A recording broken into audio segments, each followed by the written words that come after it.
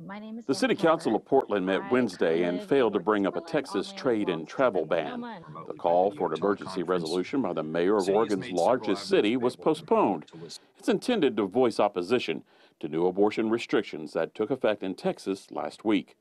Wednesday, Texas Senator John Cornyn dismissed the threat and the negative headlines targeting Texas. I'm not worried about it. Um, Our friends in Oregon, if they don't want to come to Texas, that's fine. People from every other state are certainly coming here. Ignoring a threat from a state with a population smaller than the DFW Metroplex is one thing, but the abortion law has gained the attention of the federal government.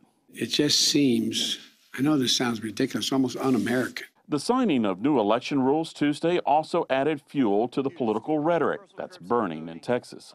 So I don't want to hear this nonsense and the lies that we continually hear that it's tough to vote in Texas. if Governor Abbott and Lieutenant Governor Patrick's had the Pinocchio rule in place, their noses would be already be hitting the Oklahoma border.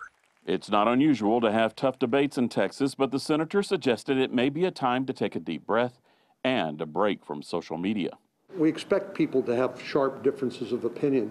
The only thing I think we should ex- also expect is people to treat each other respectfully and civilly and uh, not engage in sort of the name calling and uh, uh, that goes along with some of what we see today in our polarized, uh, polarized uh, politics. But his call for civility comes at a difficult time.